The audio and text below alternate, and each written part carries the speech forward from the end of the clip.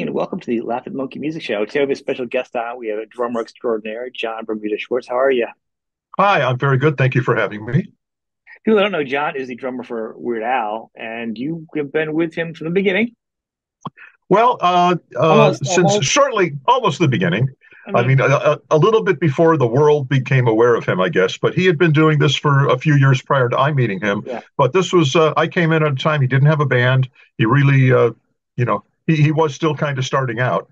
And I got in there, and and uh, I don't know what made me say it, but I said, you know what, you should have a band. I'll be your drummer, and not having any idea what would happen from there. And he said, you know, okay, and it just it went from there. I think it says a lot because it's pretty much like having an original core members in the very beginning and growing as a band and as musicians and as friends. It says a lot about an artist and the group of people, all of you as a team. You know, I, I think it's an important well, part.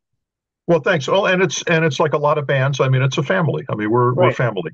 Uh, we've watched each other grow up, get married, uh, you know, have kids. I mean, it's just it's uh, you know, it's it's pretty cool, you know, and to be able to work together. Uh, mm-hmm. and and make a living at this and still enjoy it and still have the same guys. I mean, that's that's very rare uh, in this business. And I think what's really great is I, I, like all kinds of music, and and anybody knows me. I do a, I do a side show. I do some Zappa stuff. I do shows with Dweezil Zappa. I'm a big Zappa fan. So one of the fun things about um, Weird Al and all the music you guys do is you guys even do a, a Zappa esque song with the Dweezil played on. Is you it is very it's fun, but once again, it's very smart music. I mean, just no no no lack of quality the chops of music just because it's you know it's got puns in it. It's quality uh, yeah. music, and it's and it's and, it, and it's different. So like as an artist, it's got to be exciting to be challenged all the time, different types of music. Well, it is. I mean, he throws a lot of stuff at us uh, on, on, the parodies. Of course, he's he's always uh, parodying cutting edge kind of uh, uh production and stuff like yeah. that, which we have to rise to the occasion. You know, lest we be re, uh, replaced by someone else who knows better. So we've learned. We've learned a lot. Uh, you know, I've learned a lot. I didn't start out as a programmer, you know, 40 years ago. I mean, I, I learned programming and sound design and, and got, you know, we all got pretty good at that stuff.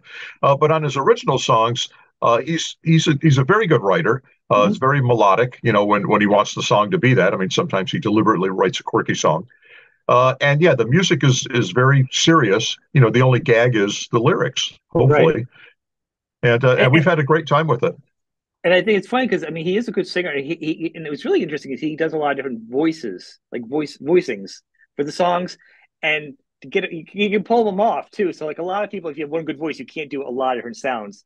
He's been able to move it around like his voice as an instrument, like the rest of you guys playing to the songs. Right. We're all kind of chameleons, I guess. I mean, you guys could probably get away with actually doing an original song with a different name. You know what I mean? He could write, you guys could uh, do pen songs, serious songs, and nobody would even know the difference that it was the same band that was parodying other songs just because, you know, they're really good songs, the originals, you know. Oh well, well, thanks, So thank you on behalf of Al. Yeah, you know, on, uh, honestly, they they would stand alone on their own as instrumentals. You know, mm-hmm. uh, the only thing that makes them different is is Al's lyrics, but you take those away, and it's it's all straight music. Now it's been like, was it like forty years, 30, 30 years? Well, we've been we've been on the scene. Uh, first album came out in '83. Yeah. Uh, this band was put together in '82 to to basically record that album, and we've been touring since '83 uh, as this band. I mean, it's the same Steve Jay on bass and Jim Kimo West on guitar, uh, me on drums. We added a key, uh, sort of semi-permanent keyboard player uh, 90 and 91. So he's the new guy. He's been with us, uh, you know, 32 years now. And uh, so he's and you still haze him, right? You still haze him oh, yeah. as a news guy. Yeah, yeah, yeah. He has to take a lot of a lot of guff from Al, and you know, but not that he doesn't enjoy it. He enjoys the attention. Uh, you know, he likes he likes if he's being made fun of on stage, that means people are looking at him, and he likes that. So that's fine. That's that's pretty funny. I think you know, I've never gotten chance to see you guys in in in, in live yet, but I've seen a lot of your tapes and your live shows and stuff. And, and as a band, I mean, what does it take as as a drummer? I mean, because you play a lot of music and you've been playing this for long enough, like the stamina. How are you keeping up during downtime, like COVID and stuff? You're a drummer; it's a lot more physical than as a guitar player. Well, in my case, I, I play with uh, other bands. Now, the other guys have their own music they want to do, and they, they do that in, in, in different ways, different formats, and uh, you know sometimes they go out and play a bit. Uh, but I have other bands that I play with, uh, you know, always with the understanding when it's time to go on the road, you know, you're going to need to get a sub. Uh, but I'm in like three or four other bands here in LA. Some of them pretty pretty long term, and uh, and so that's how that's how I sort of keep in shape, you know, mentally and and physically. I don't really practice at home because I'm busy enough with these other bands. Now during COVID, I mean, I, I lost most of 2020, and about the first half of 2021, uh, nobody yeah. was doing anything, and uh, and I just and then you know and then I did have I kept drums set up here and I sat down you know a couple of times a week and and just play a little bit to make sure I could actually still play you know if I ever got called for a gig again and the second half of 2021 it began to pick up a little bit more uh, 2022 was a a very busy year with Al on the road. So, uh, uh, you know, I was back in shape for that. Came home for a few months, did a few more gigs, you know, stayed in shape, Christmas and all that. And then we went out for two more months uh, uh, earlier this year uh, to Europe and Australia uh, a few dates in Hawaii, our first time playing in Hawaii, and uh, you know, and had a nice time. And and we'll take the next year or year and a half or, or so off, and then uh, we'll go out. and We'll do some more. That's incredible. You guys, and as I look at the, the list on the on the uh, Weird Al site, and we'll talk about your site too. You have a really great site. You are the king of oh, archives. Oh, I want to talk about it. I love it. I love it. I love it. I love the I love that OCD nature. I, I'm like that. Um, but you guys are at a point with a band where you guys sell out a lot of places, and you've got that nice comfortable level where you have a great fan base. Like it's fanatic. Like it's you know, like like a lot of the bigger bands over time, and you know, a loyal, loyal base. that really get the, the deep jokes, like a way, way, way, way, the meta, meta, meta jokes. You know what I'm saying? well, and, and not not just yeah. Well, they're not just fans from way back. I mean, because they're they're beginning to get a little old, as we are. But we we have been because of the nature of Al's uh, humor and the parodies, uh, which are aimed at a, a younger audience, uh, you know, arguably. Uh, those fans are starting to come to the show. So you go to one of our shows, and there's there's uh, you know six and seven year olds, there's sixty and seventy year olds. I mean, it's and everything in between. And so we have got, uh, you know, it's not just that our audience grew up with us. I mean, they're bringing in, they're bringing their kids in, and new new kids are discovering us, and those are our new fans as well. So uh, you know, it's a very wide uh, demo at one of our shows, and uh, our tours are different. The the last couple of tours we did uh, were was sort of an unplugged kind of a tour and featured mostly originals, almost all originals, which is, is really aimed at the more hardcore fans because the mainstream crowds know the parodies and that's what they want to see. They want to see a lot of production and video and costumes and stuff. And uh, last year and this year and in 2018, we did uh, an ill-advised vanity tour, just an unplugged, no frills tour, no costumes, no videos, no nothing just us playing, literally the guys sitting on stools on a rug at the front of the stage. And that's how we did those shows. And we so we played smaller venues like 1,500, 2,000 seaters, uh, which for us is on the smaller side. Right. And uh, but uh, on a normal tour, and we're going to come back with the production tour again next time, I believe. But in 2019, we did a production tour, and we had a symphony uh, in each city waiting for us, uh, and came in, and we had a, a you know the strings attached tour supposed yeah, to no strings attached. About that, if I could just stop pretend that for one second. Like I always wanted to ask, as an artist coming as a band, you guys are a well-tuned machine to begin with because you guys are been playing together so long. You guys know each other, so you know the music. A symphony is, is, is some serious musicians. They're going to know the music coming in.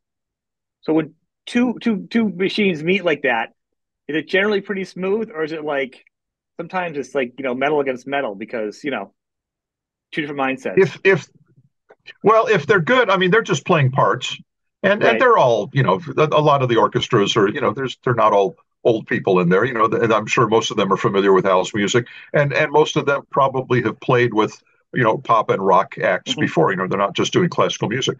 Uh, the the orchestras, and it was a different orchestra in each city. Uh, they had the music in advance. Uh, they they uh, I mean they you know they had parts that were written out scored for orchestra orchestral you know players. Uh, we carried the conductor because the conductor has to know the show, of course. Right. Well, uh, yeah. So that was that was the one constant, and he would rehearse uh, the orchestra in the afternoon. He would rehearse the entire. Okay. They played every song. Uh, they they did the entire show. So he would rehearse them. We didn't have to do that because that's like us doing a whole show and then coming back and doing a whole other show, and that's a little hard on Al's voice. Uh, yeah. So so they they would play to you know in the first couple of shows we did we recorded them. You know we got good performances and and uh, the show was the same every night. There are actually two two versions of the show, but it's pretty much the same. So they would know in advance what the show was, so they could rehearse it if they wanted. But again, they they're reading music, so it's not that hard. and they would run through the entire show that day, and then we would work with them literally for the first time at showtime.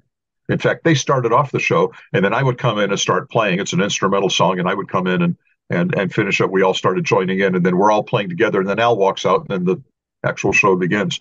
And in that in that venue, we were playing, and again, this was with the production and parodies and the whole thing. Uh, we are playing to the more mainstream crowds, and so we were playing larger venues. Uh, in that, you know, it's uh, uh sheds they call them. So places like uh, uh, the Greek Theater in L.A., Wolf Trap, um, uh, stuff like that, out uh, outdoor and larger yeah. indoor venues. Well, that makes and, that makes sense economically, though. If you're going to be hiring a symphony, you better be playing in bigger sheds. Well, well, that too. We can't we can't have 1,500 people walk in and and you know pay for it all. Uh, and we don't charge a lot for tickets. I mean, tickets are like, like you know, yeah. 65 75 dollars maybe this is not we're not charging 250 bucks or 2500 bucks or any of that stuff right, you know it's right. very modest very modest uh, so and and in that we we played red rocks on that tour we sold out red rocks and and so that's the difference between playing for 9000 people and 1500 you know and again we we're we're good either way but it depends on the show that we're doing. So when we come back on the next tour i believe it's going to be the full production. We're going to go for the larger venues again. And uh, you know and that's and that's always very satisfying as well. I mean it's nice to have a large audience out there. I mean i don't care if i you know when i'm playing in my local bands you know maybe i'm playing for 30 or 40 or 50 people you know and it's for me it's the same. I mean the money's not but i mean it's the same oh, feeling. oh, yeah. i get the same enjoyment as playing for three or four or five thousand people you know so i just enjoy playing drums and that's that's what it's all about for me. Well i mean i think that's to me it almost sounds like as a musician it really is a perfect world because you get to play all kinds of the music you get this gig and even with al's music you guys are playing different types of music all the time. It's not like you guys do uh, do more variety than most actual rock bands do because oh, of the yeah. sets and the change up, and it's it's it's it, you know it's very interesting and and even the music like people can laugh at like you know my my Bologna or Sean like does early parodies or some parodies, but but like when you get songs like like Word Crimes or something and the lyrics are really good and the beats are different and it gets a little more technical, you, it's a different audience. So like you really, you know, your your um the genre for you guys is wide open, like. Oh yeah, well, the, and the thing that, that makes it all gel is the fact that it's all funny. Right. Or it's or it's supposed to be. No, it's it's, it's, it's all no, really it, good. It's funny, but it's smart funny. I mean, like like literally, this was a word crime today. Like, it's smart funny. Like I'm like yeah. I'm like I don't even think the people that need to hear this are gonna get the song because you know what I'm saying? It's like it's there's some smart lyrics in there and funny. But, but you know. everyone everyone else can laugh, so that's the smart people can laugh, so that's good. it's it's some funny stuff. So one of the great things also that people don't know is you are the best probably archivist archivalist for Weird Al. I mean, imagine even Weird Al probably had to say at this point, you have more stuff than probably anyone. Yeah, yeah. Uh, well, I've just you know I get stuff I'm on the inside, so of course you know I I have access to a lot of things that uh, that most of the fans don't, uh, whether it's product or or promotional this or that or uh, things from the videos or just uh, photos. I mean, I, have always shot tons of photos. So, I mean, I've got, uh, I keep lists of everything, uh, a lot of details, things That's that uh, that nobody has. Well, to, to do well, that. I, I, mean, just, I can see like later on in life being like, you know, you want you want a couple of these things, but like right out of the gate, you've got lists and copies of oh, yeah. everything.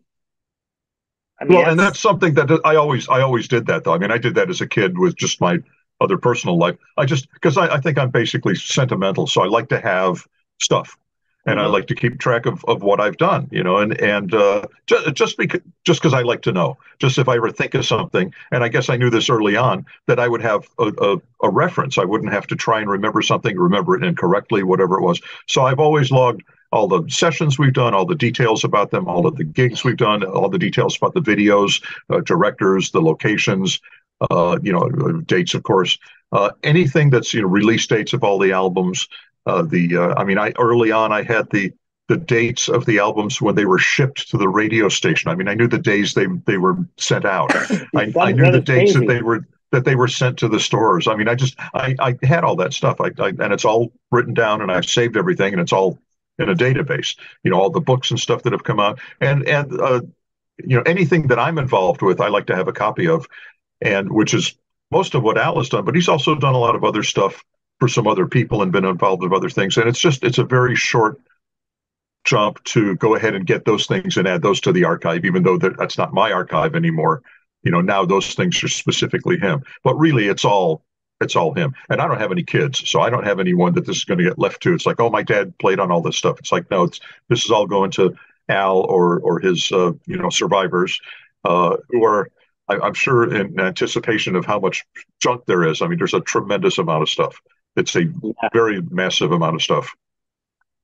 A museum. I mean, uh, uh, it's you know, uh, there's a lot of a lot more books there probably too. You can probably do some really just nerdy to the nuts and bolts of nerdy Al and just you know travel logs like everything like crazy pictures you know like those crazy um scraptivity style books where it's got like different types of textures and everything on it you could really yeah. just chalk some books full of that you know? Well i i have thought about that. I mean i have a couple of books of of my photos which uh, pertaining to al yeah yeah. That's oh, okay but i but i i had thought as a possible book as well to to feature the stuff in my archive.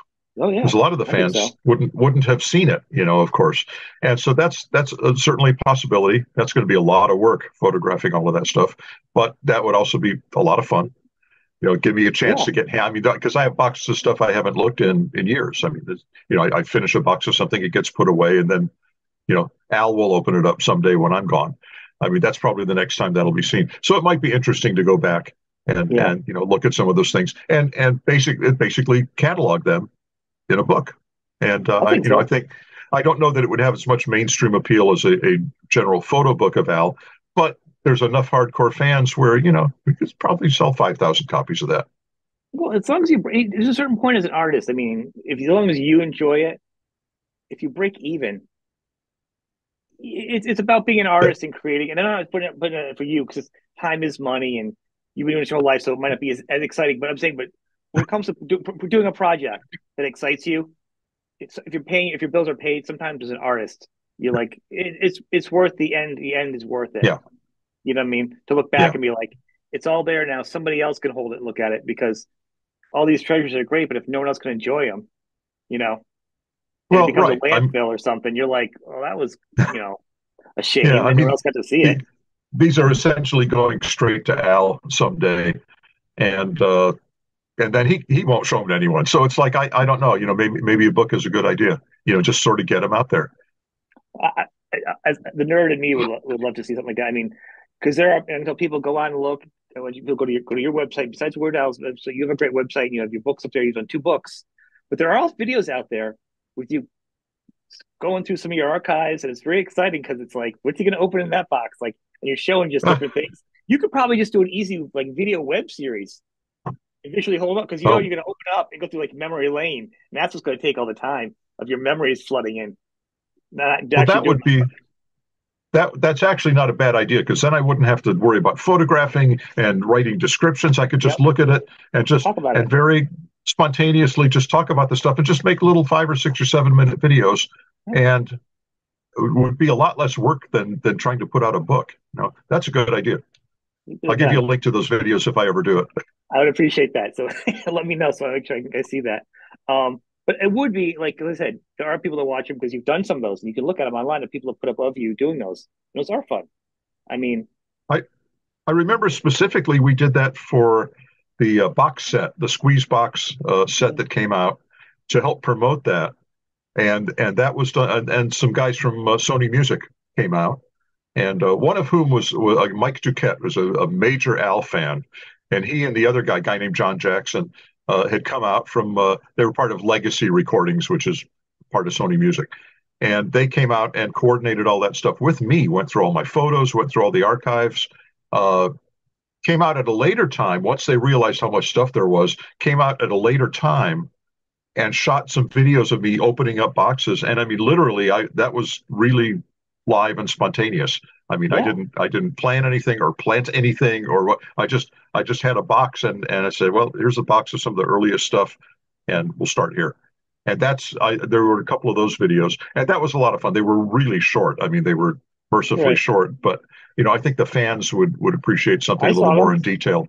Yeah, I saw them. I mean, that'd be great. You, can put that up on your own website. That could be a treat for your website for the fans. You know. Oh, true. Something something to think about. But so let's talk about you. So you also your albums. You guys, you're a good photographer too. I mean, you have a lot of different oh, skills. It's got to be. Uh, you're very welcome. It's it's let's you know let's let's be honest. Nowadays, photos are easier for a lot of people. Like even I have been accidentally taking more good photos because of the technology of my camera. But that's not about being a good photographer. There's way more than that. You have to have an eye for the right moment, and you can be 35 different poses, but there's only one picture that's the right moment.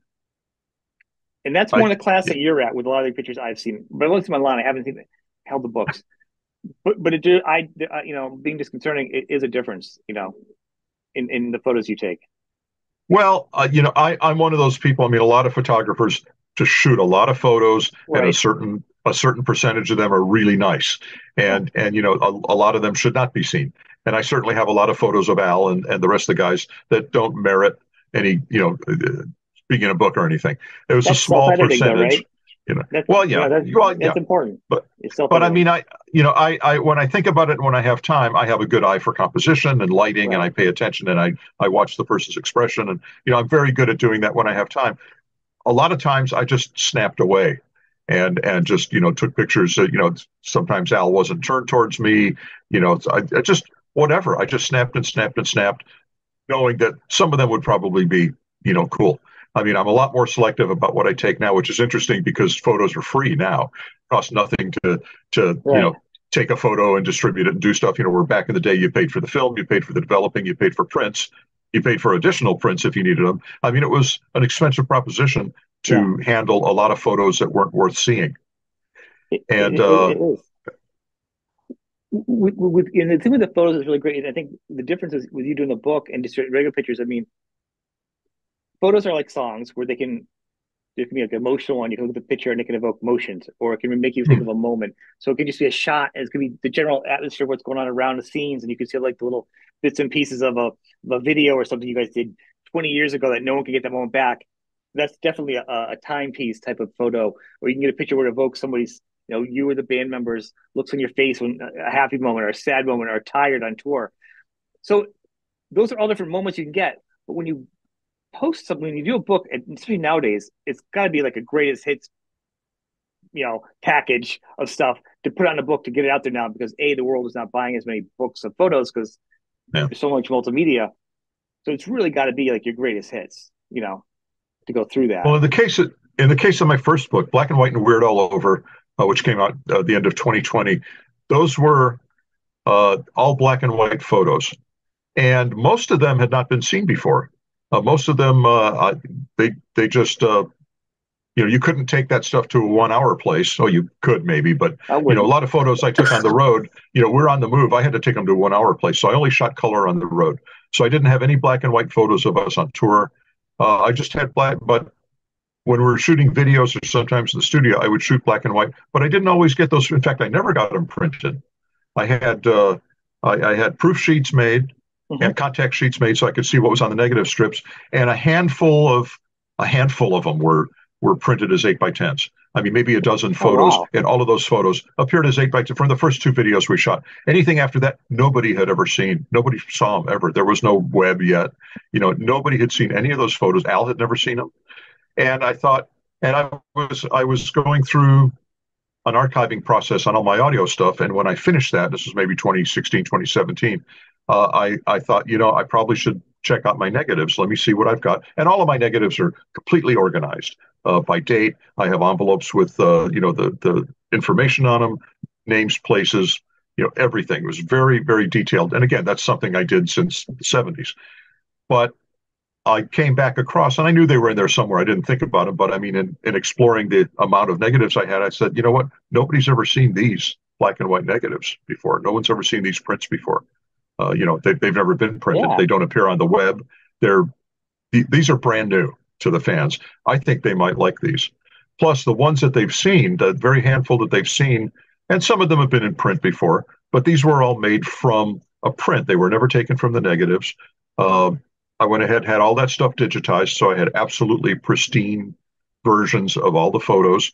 Went through, was able to, you know, do a little bit of doctoring on them, and found I, I, thought I found about 500 photos that I thought the fans yeah. would like. Well, we pared that down a little bit to a, little over 200, uh, which was which was probably fine. Which, but almost all of them were brand new to the fans. So that's what really helped and, and made that book unique. That was a really that was a special book, and and uh, not something you can really put online very well because the, the you know the resolution just isn't the same as right. looking at a, a printed page. Uh, so that was that gave impetus for the second book, which uh, are all color photos. Now, a lot of those had been seen because I had prints of all of those, mm-hmm. and I, I, started doing Al's website back in 1995. So uh, with, within a year or two, I had I had uh, scanned photos, and those began appearing on the site. I mean, I eventually had about 12 or 1300 pages on his website of photos of my photos. Uh, but again, these were in various qualities. They were all taken from prints because I hadn't ever scanned yeah. those negatives before. But for the second book, uh, Lights Camera Accordion, uh, I, I, I personally scanned all of my all of my color negatives, so I was seeing stuff I hadn't seen in years. Oh wow! And seeing it in, be- in better quality and and with more detail and more of a full frame taken from the negative than they would print on a four by six or three and a half by five print. Yeah.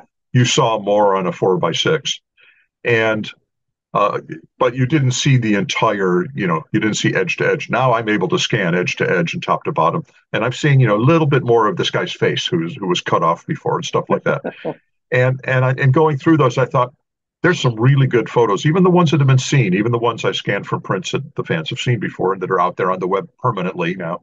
Uh, one, the quality is much better. Uh, they're sharper. The color is better. Uh, the uh, the density is better, um, and the resolution is going to be much better because in the old days when I started scanning stuff, uh, a, a, computer screen was if you were lucky, maybe you had 800 by 600 was your resolution, oh, right, yeah. which nowadays is really is pretty small. That's like maybe about a fifth or a sixth of a normal screen, and that was the size of the photo. And so they're all they're all kind of small. They're crunchy. You know, back in the days of dial-up, when I started doing web stuff, uh, I couldn't I couldn't make big files. You know, I had I had photos that filled up a lot of the screen. They were only like maybe 25k. You know, there were no you know 500k photos or two meg photos or anything. You know, no videos. Gosh. And but that was in consideration, you know, of, of dial-up speeds, of download speeds, which were just, you know, archaic then. So I just, I, it was, it was of the moment. So those photos now are yeah. are crystal clear and big and brilliant, and you know, so that's that was my second book, which came out in late 2022. And these are both uh, on your website, so people can buy them. Go directly to your website, right? They're, well, they're, it brings you to well, Amazon, but but it's linked at your website. Well, it, well there, there's actually almost any bookseller, Barnes and Noble, Walmart, Target, uh, Amazon, of course. Uh, the publisher sells them. Now, the first book is out of print and the distributor is is out. They they have sold out. Now there are stores that that took them at the time, and they still have some copies. I know Barnes and Noble bought a bunch of them early on, and I know that some of them still have that first book, even though it's not there won't be any more. So yeah. it's it's possible to find it. There are independent bookstores. So there's you know uh, you go on Amazon and it's all marketplace. It's all secondary yeah. sellers with those. Uh, so it, it's available. It's certainly possible to get it. Uh, used, you know, people are selling them on eBay and stuff like that. Uh, the second book certainly is still in print, still available.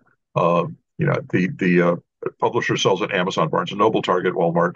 Uh, book Soup here in Los Angeles on the Sunset Strip has uh, signed copies. I went up and signed a bunch of copies from. Uh, so that's kind of a cool thing. Uh, what's interesting is with with uh, that first book, even though a lot of fans had them, when we did the 2022 tour yeah. and were had just come back from the whole COVID thing, we were under pretty strict COVID protocols. We basically weren't seeing any fans or anything. So there wasn't normally, you know, somebody would go, oh, I've got, you know, like they would bring a CD if they could find one of us. Yeah. Oh, would you sign my CD? And they would have brought a book. Oh, would you sign my book? Right. And couldn't do it. But what I did do, and Al was very kind to let me said this is part of why they sold out he sold the book on the merch table at each of the shows, six months worth of sales for uh, that the first book. That's what helped sell it out. And I would wow. go and I would I autographed all of the books, and they were sold as autographed copies, not personalized, but you know I, I signed them, and they were and they sold them at the Amazon price for like like twenty five bucks or something. So it was a good deal, and yeah. and they were signed and and sold a bunch of books, sold 30, 40, 50, sometimes more copies a night, which is pretty wow. good. That's so really very, good. very happy with that. And of course, Al Al made money too, so he's happy with that. uh, you know, we, we both did well. But that's what helped. The, the book sold out before the tour was over, which was uh, which was pretty cool. How was the band when they saw those pictures? Like, because it's gotta be exciting when you said, "Hey, I'm going to do a book," and they always saw you with a camera, but you're like, "Okay, okay, cool." But then you're like, "No, guys, look it," and all of a sudden they sit down. You know, people that don't aren't into pictures, when all of a sudden they see old pictures of themselves, they go, they sit down for a minute, and they go, they lose themselves. And you don't usually see that. Uh, yeah. Well, one thing I did, I mean, you know, one is a courtesy, and and two, I I didn't want to hear back yeah. or, or create any resentment, but I ran everything by everybody who was in the book. Yeah. Uh, and, and Al had right of first refusal on everything, and from there I went to each of the guys, and and I think, I think the guys in the band said, no, you know, I don't I don't need to see him. It's fine. You know, you you, you it's fine. Don't worry about it. Although it's interesting in the second book, then they all wanted to see. Yeah, we'd like to see those photos. Really? All of a sudden, it was they wanted to know what was in them. Uh, so well, it's not like you guys are decadent. You guys aren't like Motley Crue or something. You guys no. are a fun bunch of guys. So it's just going to be fun pictures but, anyhow. Uh, yeah, there's certainly nothing in there that that should have been embarrassing. Right. And if it was, you know, and if there was, you know, Al certainly had a chance. He did, and there were a couple of photos he pulled. Actually, uh, in the uh, in the second book, there were a couple of photos that, and, and I submitted like 800 to him, oh, and uh, he picked he picked like five, which didn't help me get the number down the way I had hoped it would. But he found five, and none of which I thought were really an issue. He, but he just there was whatever it was, he, and yet there were other photos in there that I thought for sure he would have you know, yanked. Yeah. And and they seemed to be fine with him. So, but I'm glad I was able to do that. And and you know, so I did have everyone's approval before I went and put that out there, and and you know, so I could make a buck on it, you know, on their likeness. You know, I got I got uh, I got their permission, and uh, so I don't think there were any surprises for anyone in the book. And they, of course, I gave them each, you know, a couple of copies, and right. and I think they, uh, you know, I think they enjoyed that, you know, because they didn't have copies of all of those pictures. And it's certainly like not yearbook, the, right? the way they. Uh, yeah. Like a yeah, yearbook well, for you guys, you know. Yeah. Well, in the one case, it was from 1981 to 2006. It was a 25 year yearbook uh, for wow. the for the second book, and the the black and white book was a fairly short period, uh, mainly because I, I only shot black and white with Al during like 1983 to like 1986, in in some cases. Uh, and video shoot. And I also had it's interesting because I had color. I I carried two cameras back in the day, and I I uh, would shoot color as well. So I have a lot of photos that appeared in the black and white book. And then as I'm going through all my color photos a couple of years later, I'm saying that's really similar. That's the same pose as this other black and white shot that we used in the other book. So one, I can't use it, but two, I realized I must have been standing there with both cameras, had the guys you know, took a couple of pictures, said, wait a minute, let me get them in color. And they got the other camera and took some more. And everyone is, uh, one thing that's remarkable is how patient everyone, because I really was all over with the camera. I mean, I really was places where I would never go today with the camera. Like while they're shooting video, you know, while they're shooting Al doing stuff, you know, I'd be back there taking pictures. And I know that, you know, the sound of a clicking camera wasn't a problem, but I was back there you know, and I'm out of people's way, but I mean, I'm still, it's obvious right. that I'm like doing stuff. You know, I wasn't hired to do that. I'm not some official set photographer, but I was the only guy there with the camera, you know, that was using it actively. And because I'm not in every scene and every video, I had a whole lot of time to shoot what was going on. So that's how it happens. I was able to get shots that nobody else has got. Um, there were, you were consistent were, though too. Uh, well, I, I, you know, hopefully, yeah. I, I uh, you know, I was able there were a few people around who took who took my camera and then took pictures that I appear in. So this wasn't all about photos that I personally shot, right. but they they were duly credited. There weren't too many of them. Uh, actually, in the 25 years of the color book, uh, there there were quite a few people. I know each and every one of them that took every single picture because I know who was there at the time and who I would have handed my camera to, and uh, so they are they are thanked in the book, of course. Uh, and uh, you know that's that's lucky. Otherwise, I'd never have any pictures of me if I didn't give the right, camera to yeah. someone else. It would all just be about Al, which wouldn't be a bad thing. I mean, the, the black and white book is mostly about Al. There's a couple of black and white photos in there of of the guys, and the only reason that that those are in there is because sometimes we're in a photo with Al that was so good of Al, I didn't want to not use it just because we were in it. I really wanted to use that photo of Al. It's like, you know what? Uh, in this chapter, I'm, I'm going to have to use some pictures that we're in and fess up that somebody else took those pictures. I mean, it's not I'd rather show the photos and give a photo credit than not have them be seen at all.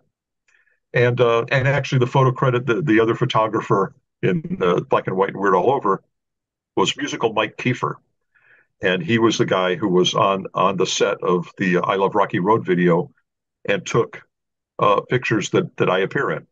So okay. that was uh, that was pretty cool. So you know, of course, he was duly thanked and given a photo credit and a book, and uh, you know, so that was pretty cool. But the the books, I, am very happy with those. I mean, it was kind of you know, one, it was cool for me to to relive all of those moments because I'm seeing a lot of things I haven't seen in a long time, and and uh, they, it just it takes you right back. Like hearing a song takes you right back to you know some memory connected with that song. And here I am seeing actual photographs. It's like wow, I remember, I remember being there. I remember taking that picture.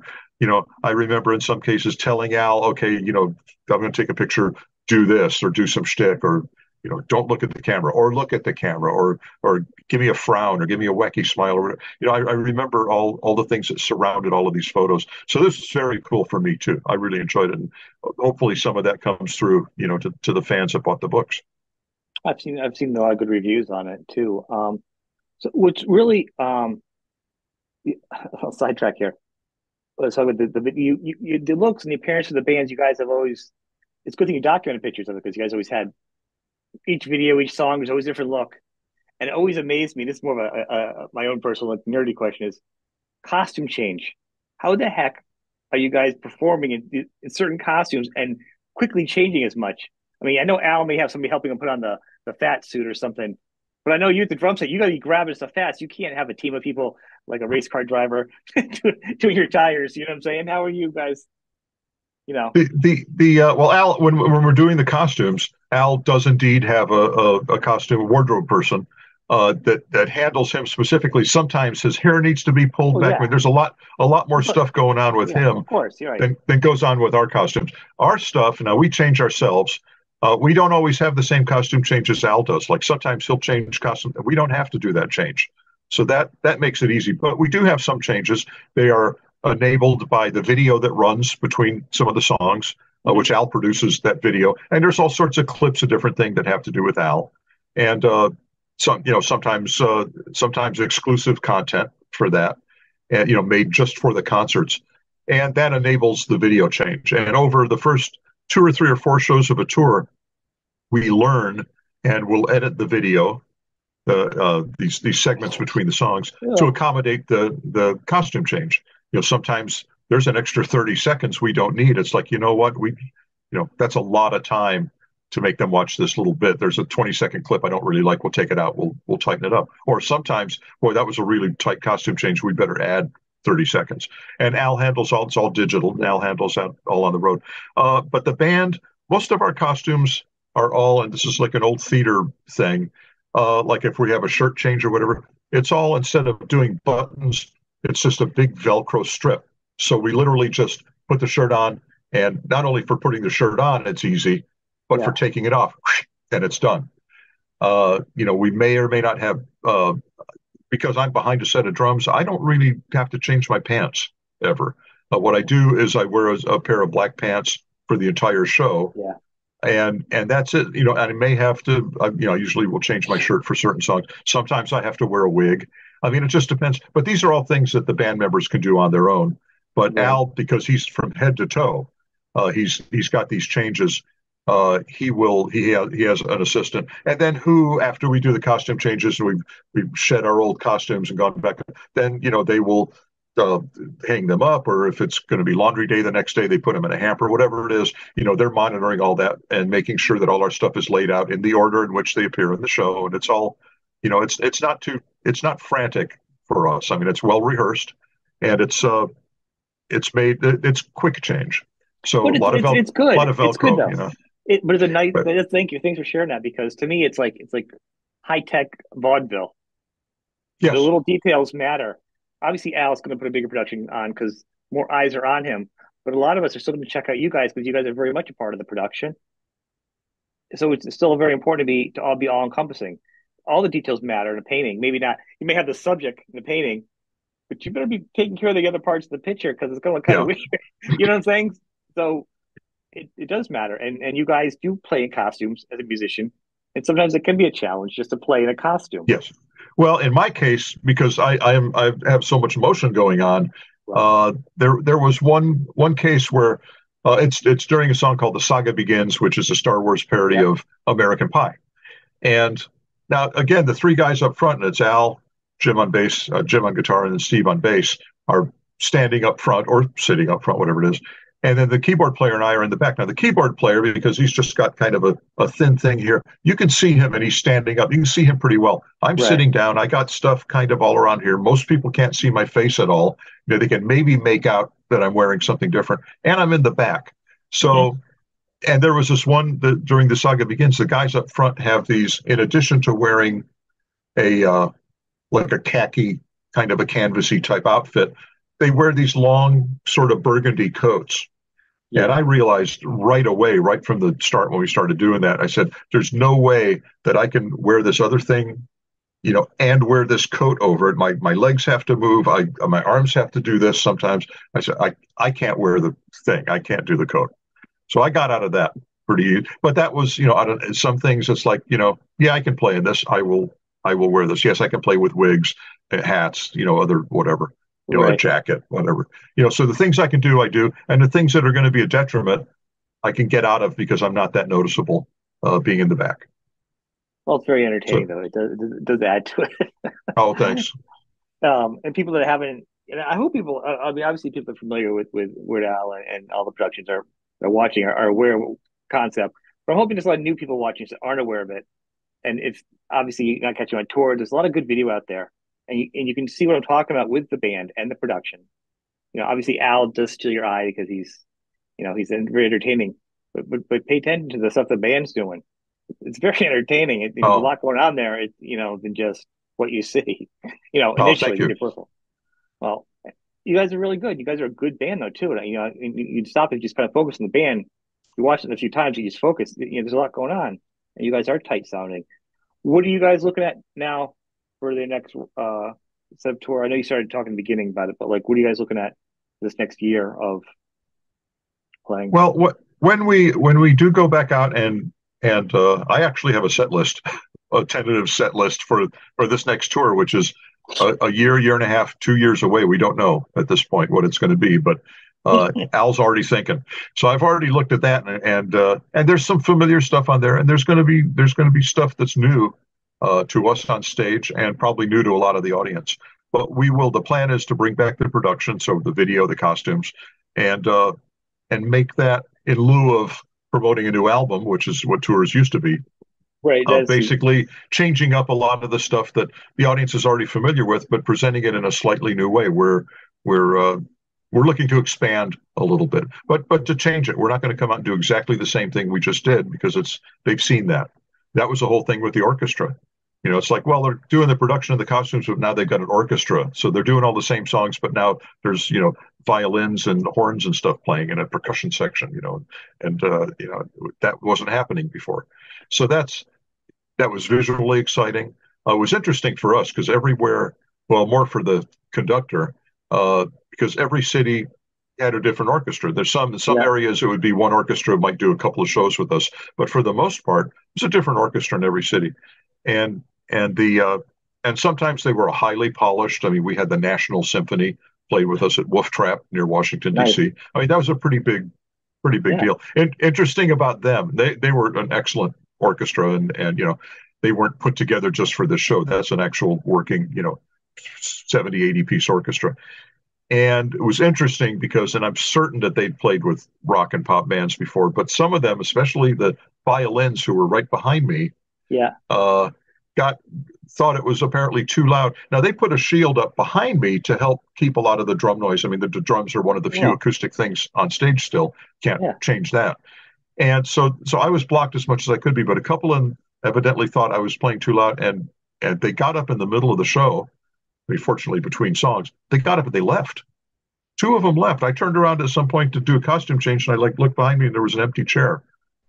And then a couple of songs later, there was another empty chair like kind of right behind me. And I and I asked the stage manager, I said, Did you where did the guys, the violin players go? And said they they walked off. They they probably thought it was too loud, or maybe one of them actually said that. I don't know. But I thought that was interesting and a little unprofessional because that didn't no, happen I would anywhere think it's else. Very, it's very unprofessional. I would think you still have yeah. a job to do, or at least move because you're like, I can't hear, so I'm not playing properly, so it's affecting the show. Good excuse. Well, they. No, I'm saying if they moved somewhere else and oh, yeah, adjust yeah, yeah. their their sound, but if you leave, that's yeah. I don't know. That's weird. Not yeah, I hope I hope they didn't get paid. But anyway, I hope not. Uh, but but there were there were various levels of uh, quality of orchestra, and it depended a lot on the location and if it was like a real orchestra or if they just put together some players from the community and put together like 30 or 40 people and and uh, mm-hmm. you know who didn't really normally play together maybe they weren't experienced players and so sometimes the orchestra didn't sound as good as as other times i mean i think the audience found it to be you know exciting either way but you know, we we could certainly tell, and the conductor could certainly tell, and some, you know, he'd have a problem conducting some people. I mean, but it's but it's like that. You know, not all musicians can work well together, and I guess not all people, even if you put music in front of them, and even if they're used to to watching a conductor, can all do it the same. You know, that and there's there's a certain dynamic that has to happen there, and it's not always there. But but it's not it's that way with musicians too, I guess, or anybody, or people, you know. Yeah, and that's what I thought about earlier when I asked about the combination of the of the groups coming in. Even you're professional, there's still dynamics that are different. Two, yeah. two different well well well uh, done machines. I do have, I appreciate the time to give me time. One one last question for you. It I do I do shows with Dweezil Zappa, and I so I want to talk about this this, this the Zappa song you guys did because a it's a big song, and it's quite yeah. a musical accomplishment for all of you guys obviously Al included, but but you all, all, all you guys, it's got a lot going on. And then then how did you guys get Dweezil involved in it too? I mean, he's a super guy, so you ask him, he's generally going to be super anyhow. But yeah, we I wasn't there that day, or trust me, I would have got photos. Uh, that was something you know. Al Al's got good connections. Al knows a lot of people. It's possible he was friends with him prior to that. You know, it lends a little bit of you know, not that we needed an okay from the Zappa Family Trust, but it, it lends a little cool thing to having him on the song, like having Ben Folds play on a style of a an original that we were doing of his style of, of song. Right. To actually have him on it, we did an original that was that was sort of a Hanson sound like sounded like thing, and he got I forgot who the keyboard player in Hanson is, Taylor Hanson maybe. Yeah, yeah. He got Taylor to play the keyboards on that song you know, not that our keyboard player couldn't have handled it. It's just it's very cool to have, uh, you know, the, the guy, you know, come on and, and do do that thing. You know, which I'm glad that Al hasn't done that with drummers because he certainly has access to different drummers to come in and do all the different styles that I've done. To have those guys come in and and you know be the actual guy, but I've done everything that you hear is is something that I've done or programmed. Mm-hmm. Uh, you know, I've been responsible for all the drum parts. It's funny you mentioned though the the, the song "Genius in France" that that Zap uh, Dweezil did the intro for. Yes. Uh, we did that song because there were so many changes in it. Uh, yeah. We did that song like in in 17 or 18 segments. Okay. It's all separate takes that were all nicely seamlessly put together, but we we cut that in different sections, uh, partly for sounds, mostly because there were just some hairpin turns that would have taken a lot longer to try and do in one shot. I mean, yeah, yeah, possible. Zappa is a different type of band. I mean, they they recorded, they yeah. they practiced, they rehearsed to be that kind of a, a, musical animal. Yeah, and and that's not normal for for no, a rock no, band. No, no, no. And and so we wanted to, uh, and and that's one of the reasons. Uh, partly, it's there's usually a vocal uh, inability to to properly do you know to to do the vocals justice. That's usually a good reason to not do certain songs that yeah. we historically don't do uh, is because there's just there's no way to do it live and make it sound anywhere like we wanted it to sound when we recorded it. And Genius in France, partly the vocals, but partly because of all the musical hairpin turns that go on in that song. It's just without without changing it and making it a completely different song, right. and then we could play it. And then, but now it's not Genius in France anymore. Now it's on some other different thing, and maybe that's not what the fans want to hear. We don't know. We've done that a few times. But yeah. but Genius in France was was recorded and and in several sections, and Al was concerned that it was going to take all day, and he booked the studio, and that was the only thing we were doing that day. We were just going yeah. to do that and and dedicate ourselves to that, and it was I, it was 17 or 18 takes. I've got it charted out, and I know where all the breaks are, and we we got it down like in three hours. Good. And you know all the starting and stopping and and making sure it was right and then moving on to the next set and we got it done and at the end of that it's like oh i I didn't have anything else planned for today. I guess we can look at tomorrow's sheet and, and get ahead of schedule. So we were we were that good on that uh, to be able to to wrap it wow. up pretty quickly. And very very proud of that. One thing that that uh, there was a mention in Drum Magazine, uh, and and the reviewer said that I did a very good Ralph Humphrey uh, impression, which nice. is a lot of what I was going for. a lot of the drum beats. I, I, took a little bit from Ralph Humphrey from the early the the uh, overnight sensation and and mm-hmm. some of you know that era of record. Uh, I took a stole a couple of things from uh, uh, uh, Chad Wackerman, a couple of things from Terry Bozzio, just a, a little bit of, of, signature things that I threw in and, and, maybe made a little twist on them so it wasn't like, well, that's not exactly that fill, but it sounds like it goes with the Zappa song, which again, it's like you got to play drums like you're playing with Frank Zappa because that's what the that's the plan. And it is. And, and I, am very happy with with what I did on there. That would be a tough one to do live, though. There's a lot. No, no, I wouldn't expect that. I mean, it is a good, good album, but it shows how good of a band you guys are, though, and it's a good song. Mm. And, and the iron the ironic part about that is, as you say, like you, you try, the plan is to try sounding like Zappa. But like I've had Chad Wackerman on, and we've talked about it. Like he, I'm like, so how was it like working on this album? Because you know the album he's played on. He goes, goes, I didn't really play on the album because Zappa was always recording, kind of like you were always taking pictures. So his drums ended up on, on like that. So he was even in that mindset of recording the album. He was playing drums for songs. So he, he said, I'm saying, it's like he wasn't even planning to do his Zappa song himself. Like it was just playing music, which is which is pretty funny how it all it all comes about because it's still known for being these monstrous songs that you know yeah. are, are a challenge. Um, it, it, and, it, and it helped that we were all major Zappa fans.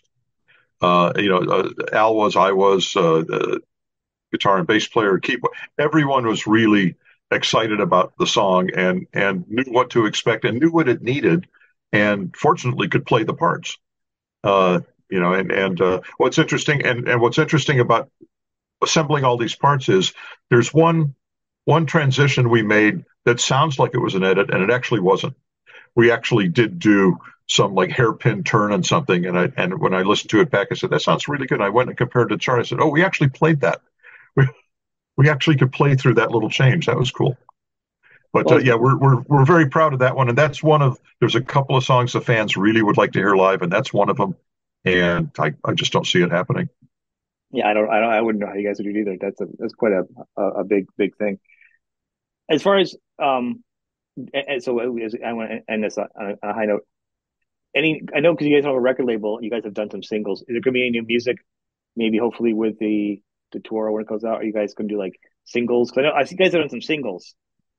The world's different. Well, now, we yeah yeah. Well, under contract, uh, we weren't really able to just do singles. You know, if Al had a brilliant idea for something, it had to wait until there were 11 more songs to go with it so that Sony exactly. could put out a full album.